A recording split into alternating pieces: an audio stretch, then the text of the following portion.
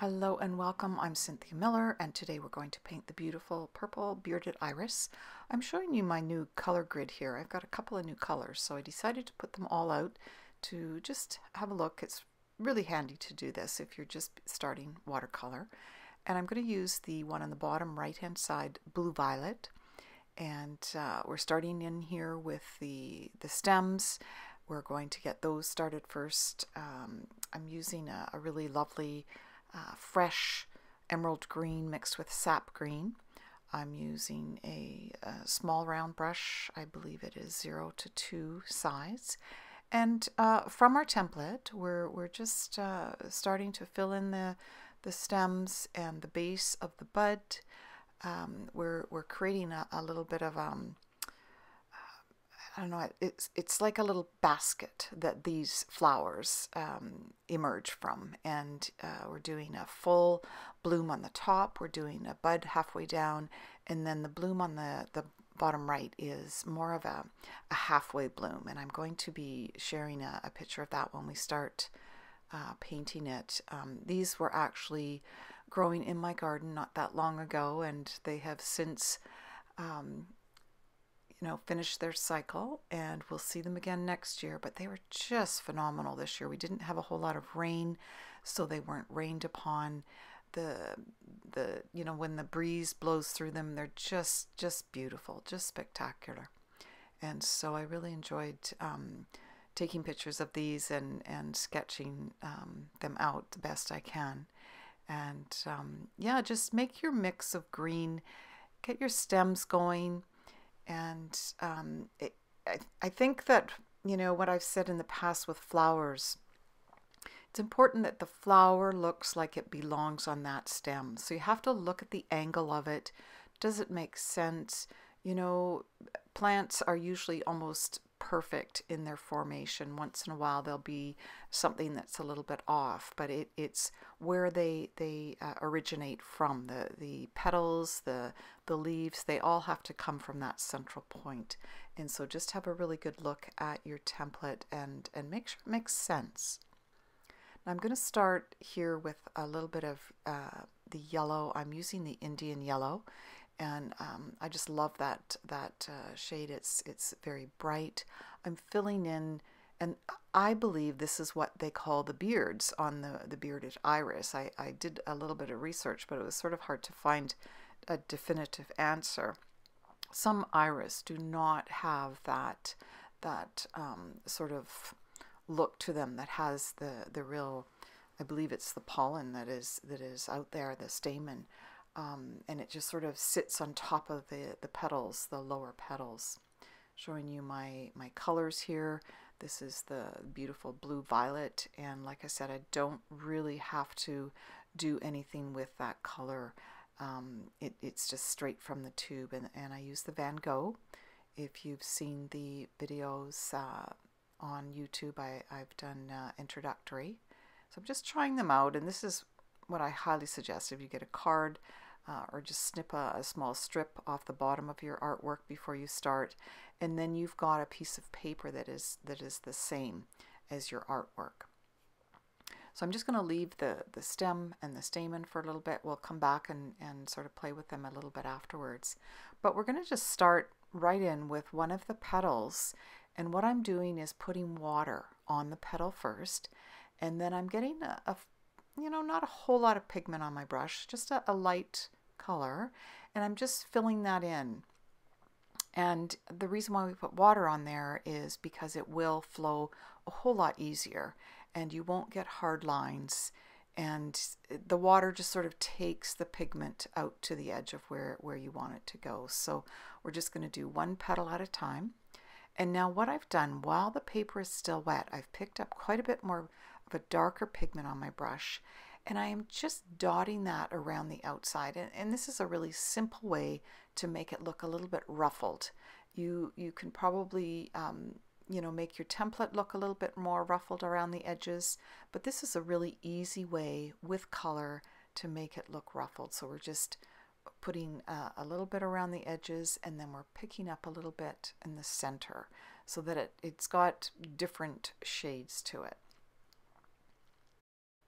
And here's a picture of the iris from my garden. You can see there's quite a bit of yellow at the bottom of the, the petals, but there is many, many shades of that purple throughout the whole flower. Now I'm going to let that first petal dry and move on to a petal that is not touching it. I don't really want them to merge together, so I'm skipping every other petal as I go. And I'm doing basically the same thing. I'm, I'm putting in some water, making sure that there's uh, enough moisture in there that when I put my pigment in there, it's going to spread easily. And I, I want it to just sort of have that natural look to it as it spreads.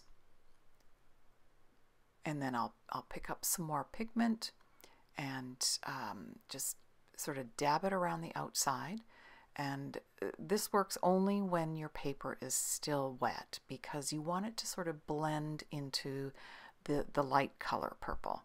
So we're putting a little bit more pigment in there, a little darker hue that um, will just make the outside of the petal look like it's, it's a little bit ruffly. It gives you that illusion. Moving on to the lower petal now, um, we're just going through the same process, putting some uh, water on there first.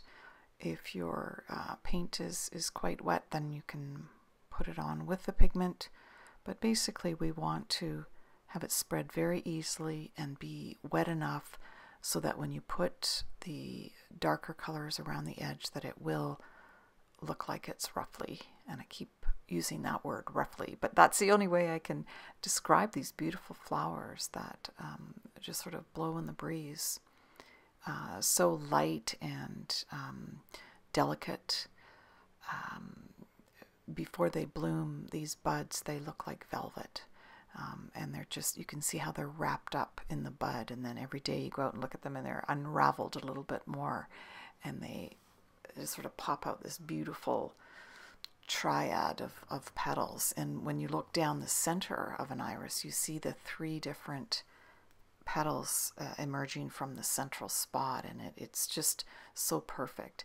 And a lot of times they, they will be that yellow color. And so just, um, yeah, putting a little bit more around the edge. And you'll find that most of these uh, purple ones, at least, the bottom petals are a little bit darker. And I'm not sure why that is, but maybe those were the outside petals, uh, maybe the inside petals um, not exposed to the sun quite as long. Um, but there is a definite um, shade difference in the, the upper petals and the lower petals. And here I'm putting quite a bit on here. So, I mean, the key really is to find that happy medium where those different shades of that same color will, will blend together you don't want you know one petal to be too dark and um, and the other ones to be too light. So it really does take a little bit of a, a trained eye to to just you know fix these these uh, little changes as you go. And you want these ones to look like they're folding over. The other ones are sort of just upright in in the air and the breeze and these ones are folding over. So there's a certain you know, depth to that as well. Maybe around the bottom it will be a little bit heavier looking. But just keep playing with them. Just um, even after these were um, finished and photographed, I think I still changed the the shade of these lower these lower flowers. I thought they were just a touch dark for for the ones on top. So then I just added another layer to the top ones. And I think you want that that stamen to look like it's it's sitting on top. It it it's um it's part of the the, the flower, but it, it really does have this own uh, its own um, sort of presence, the way that it sits on the top. And again, just make sure that you skip every other petal so it gives that petal a chance to dry. I think it's important to keep each of the petals separate as you paint so that they have their own sort of unique characteristics to them. Every petal is, is definitely not going to be the same, but it can be pretty close to make it look like it's it's all one flower. I think that's that's the key. So the shapes the petals are important. You want to look at um, those shapes before you actually start painting because um, once you start painting, you can't really change the shape of them. you know, you can um, make them look like they are uh, a little bit puffy or um, flowing outwards or downwards or, or, sort of give them that round shape um, with, with, you know, the shading that you do. Um, but if, if the composition, the, if the sketch doesn't make sense, then you're going to have a hard time make, uh, making your painting look like it makes sense. And I mean, we're, we're creating um, art, but we're also creating something that we're all very already familiar with. This this flower that is the the iris. We're familiar with how it is supposed to look, so we want our artwork to incorporate that into it. So when someone looks at it, it's recognizable. They're not saying, "Oh no, you know, it shouldn't have four petals. It should only have three. We've got the three. We've got the details of the of the flower in the drawing." And that's all I'm saying is just make sure that your drawing is how you want it to be before you start putting paint to your paper. Now I had a, um, a little bit of a challenge getting the shape of this petal to be what I wanted it to be. And, and I think that I was just trying to make it look too perfect. Um, but um, you know after doing three or four of them um, you know I realized that it just needed a little bit more height a little bit more width. And um, you know, however that turned out from there, I was I was totally fine with it. Again, the the the width and the height of this one, your other side petals, you want them to to um, sort of match that on either side, yet look like they're sort of floating in the air, caught in the breeze. And this is starting to to come together now. When you when you get you know five or six petals done, you start to see that it's coming together. So again, just a little bit lighter on the top than the bottom petals. And you can see I'm, I'm using different um, ways of stroking the paint on. Uh, they have a certain um, sort of vein pattern in them that comes from that central stem of the petal. And um, your paint strokes will dry with that particular angle that you put on them. So it is it is important that you use your paint strokes to the advantage. And just going over the the side ones once again, giving them a little bit more color, a little bit more depth. Just pointing out a lighter part of the petal there at the top and I, I kind of like the way that looks because it does look airy. It does look like you can almost see the the other side of the petal. They're so light and see-through. And so just playing with the, the stamen and the area around the, the petals, the you know, you can't really draw the interior part of the, the flower um, at this angle. So um, I just add a little bit of yellow orange to it afterwards. There does seem to be this um, sort of mixture of, when you look closely at an artist, uh, an iris, it looks like it's been hand painted because the the orange, the the yellow bits at the bottom of the petal, they're just like almost like a tiger's back, the way that the different colors work together. It's absolutely beautiful. So I encourage you to, to go and have a look at, at iris if, if you possibly can in real life. So I'm just painting the center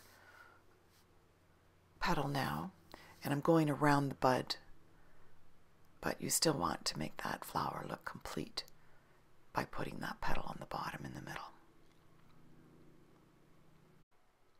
So here's my photograph of the iris in the garden, and this is the three quarter blossom, I call it.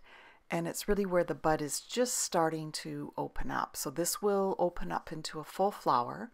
And um, I just wanted to point out a couple of things.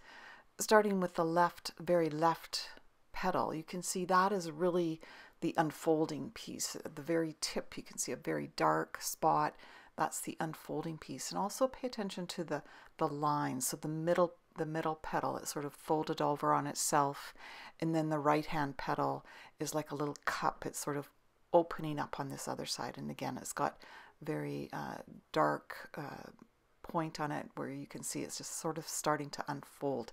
And then, of course, the fourth um, petal behind it. So just um, starting with the same process that we did with the upper petals, we're going to do this three-quarter blossom with very light, a little bit of water and then just adding on some nice light tones and, and bringing those darker tones to the edges, letting them blend a little bit, but also using those strokes with your brush to put those impressions of the lines that I pointed out in the blossom. And so when you start to paint, you start to look at nature and, and buildings and um, the way people walk, their shadows, um, you start to see shapes differently. You start to see the light and the dark of the shapes, and you no longer are taken into the shape of the actual thing. It's the shape of the, the lights and darks that, that start to stand out for you. So moving on to the, the middle petal of this three-quarter blossom. And again, just starting out with the lighter side, the lighter shades. And this um, one tends to sort of fold over on itself, so it creates a little bit of a shadow. And if you can incorporate that shadow into your painting, you'll it will help it come alive. I think that you know these these shadows that that are seen but unseen, um, the the artist's eye really um, can uh, bring that in. And sometimes it doesn't come in until the end, where you start to say, okay, the the picture is almost there how can I bring in some shadows? Because that really does make it look realistic, even in flowers, even in leaves and um, gardens. The, the shadows are there, and that's really what makes it realistic. So just adding a little bit more pigment um, around the outside of the petal, keeping those brush strokes, creating those lines. And I think that my motivation here was really to create the look of velvet. When you look at the buds of these flowers, they're just magnificent. They're just so soft, so delicate, so plush, so perfect. And that's really what I was, um, you know, my goal is to recreate that feeling of uh, such perfection, really. So I've moved on to the third petal and I'm only doing half of it. I'm just doing half of this petal right now. This is the one that looks like a little cup. It it's unfolding, but it's it's it's uh, creating this shape that that has this inside and outside space. And so we want to sort of replicate that in how um, dark we make it, how light we make the inside, and how we create the shapes with our brushstroke.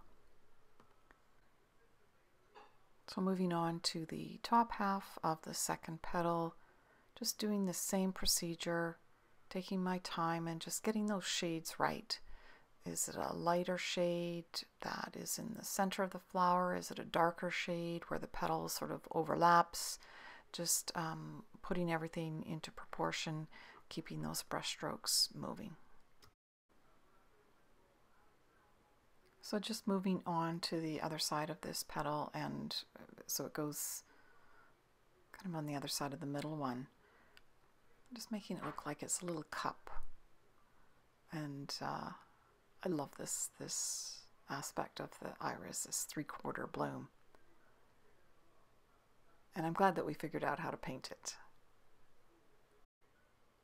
So we've got one last little petal on this flower and it's uh, a little bit of a, a, point shape just behind it. It's the uh, next petal unraveling from this beautiful blossom. And so now we're going to move to the bud. And if you've ever seen these in person, they're this beautiful formation of uh, the petals are just wrapped around themselves, just rolled almost, and so it's it's just sort of emerging from from the green um, basket that I was talking about before. Every every blossom has sort of like a little basket that grows upward with it, and then it creates this sort of like tissue paper around it and, and holds it. And um, the the blossom is this dark, dark purple, and um,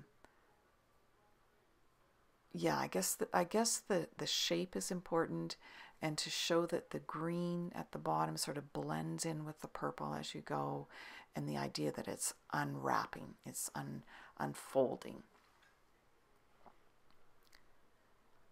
And so I worked on the greens a little bit more. I worked on the bed a little bit more. I worked on evening out the colors so that the petals at the bottom of the big blossom at top are sort of blend a little bit better. I think that I um, had left it to be quite light um, initially and then I added some more pigment to it. So I hope you've enjoyed this. As I've mentioned before, we have these fun paint circles every Thursday. We get together on Zoom and uh, this was basically what we did in the summer months and um, well actually I guess it's this the spring months yet. So we do this every week and if you'd like to join us just click on the link to register and we paint all kinds of wonderful things uh, no matter what's going on. Uh, we've got flowers, landscapes, sunsets, mountain scenes, um, all kinds of sacred symbols, and uh, I, I want to paint everything, so I'm going to be here for a while. so I hope you join us. Take care.